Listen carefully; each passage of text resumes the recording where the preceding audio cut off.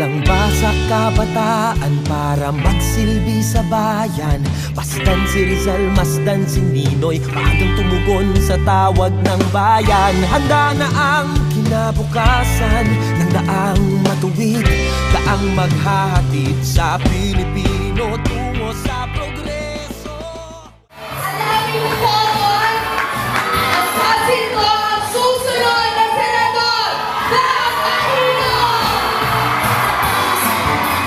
kami ni Bam. Bam, ay, gusto ko malaman ng mga tagalipa, at what age did you start making speeches? Well, alam mo Ate Chris, nagsimula po ako at 6 years old. Nung pagkamatay ng pagkamatay ni Tito Ninoy, nag-ikot tayo sa iba't ibang parte ng bayan. And of course, dito po mismo sa Lipa, nagsimula tayo magtalumpati. Kaya magandang magandang gabi po ulit sa Lipa. Nakakaraming beses na po tayo dito. It started when I was very young. Hanggang ngayon po, lumalaban pa rin para sa ating bayan. Bam, ayokong isipin ng mga tao na just because you're an Aquino, biglang pumasok na sa pagiging senador. Paano ka nag-start? Paano ka nanilbihan muna sa ating mga kababayan, most especially ang mga tagalipa na nung nag-motorcade tayo, pinaramdam talaga yung love, love, love. Well, alam mo Ate Chris, ah, bata pa lang tayo, student leader na tayo, naging student council president, nagtrabaho sa isang NGO, sa ABS-CBN Foundation, sa Bantay Bata at Bantay Kalikasan. Nagtrabaho po bilang chairman ng National Youth Commission and for the past seven years, isa pong tumutulong sa mga pinaka mahihirap sa ating bayan, kasama ng mga microfinance organization at mga kooperatiba. Pero sandali nakita ko doon eh, ang dami dito ng mga kabataan, di ba?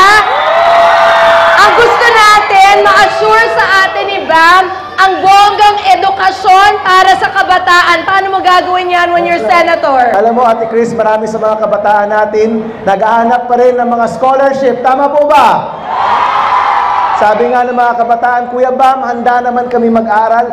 Hirap na hirap lang kaming makahanap ng college tuition. Kaya yung isa pong programang gagawin natin, bukod sa mga scholarship, college financing program, study now, pay later. Nandyan rin po yung pagtaas ng kalidad ng edukasyon, pagpondo sa ating public schools at state universities and colleges. And syempre, yung pagbibigay ng trabaho sa ating mga kabataan. Dahil marami po sa mga kabataan natin, kahit nakapagtatapos, wala pa rin trabaho. Sino po dito naghahanap ng mga trabaho? Napakarami yan po yung kailangan ng maraming kabataan, maraming kababayan, mga pagkakataong kumita at umasenso para sa ating mga pamilya.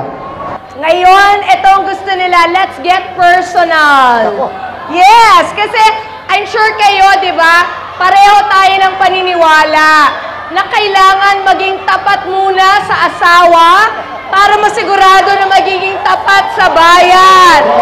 Tawagin natin ang napakagandang misis mo. Where's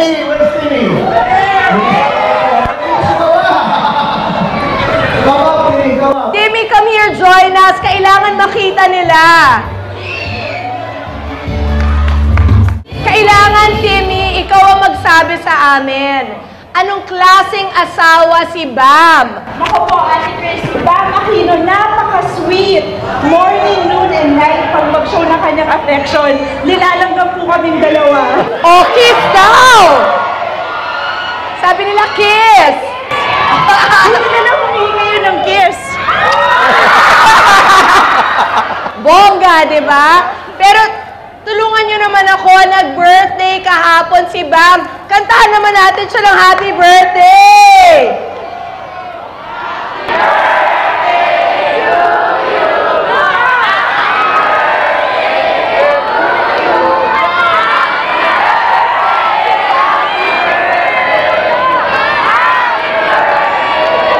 Maraming maraming salamat po. Thank you very much, Lipa. Maraming salamat. Sabi pa, anong ireregalo nyo kay Bam? Thank you very much. Bam, nakikita ko ngayon si Vice. Vice Go, balik ka sandali.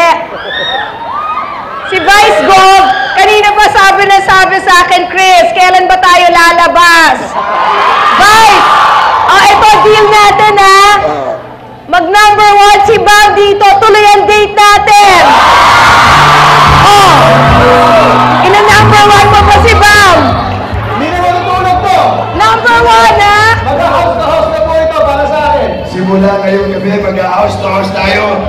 Pamilyang Libenyo para mag number one si Senator Aquino.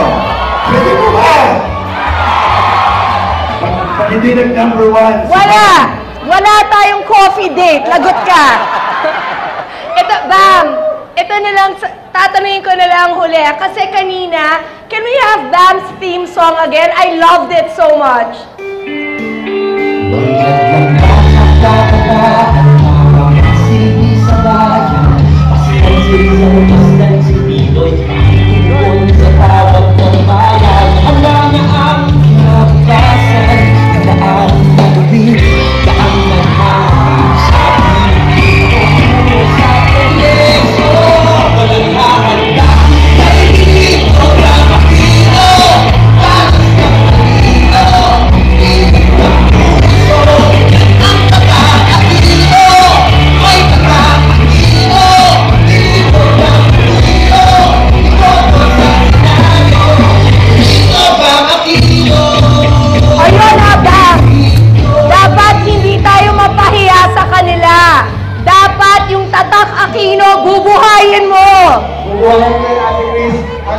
tayong manindihan. Handa po tayong magpatuloy ang nasimulan laban para sa ating bayan! So pwede ko bang hingin sa inyo yan? Kaya nyo bang in-number one si Bam Aquino?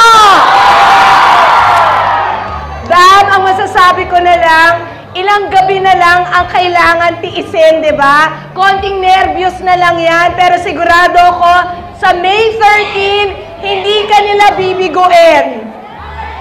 Number one! Thank you very, very much, Bam. Meron ka pa bang last message para sa kanilang lahat? Opo, mga kaibigan, ito po yung rock the vote. Kailangan yanigin po natin itong eleksyon. Importante po ang boto ninyo. Lahat po tayo bumoto ngayong Mayo. Hindi lang kay Vice Governor Mark, kay Governor V. Iboto po natin ang Team Pinoy. Mga taong malilinis, handang manungkulan, handang manilbihan para sa ating bayan. Maraming salamat po at mga kaibigan. Gusto ko lang po sabihin, Ate Chris, thank you so much from the bottom of my heart. Napaka-busy po ni Ate Chris pero sumama po siya hindi lang sa Batangas, pati rin sa Iloilo, sa Naga, lagi pong minimension sa radyo at sa kanyang show. Palakpakan po natin, the Queen of all media, Chris Aquino! Bam! I love you, Lingwa! Thank you very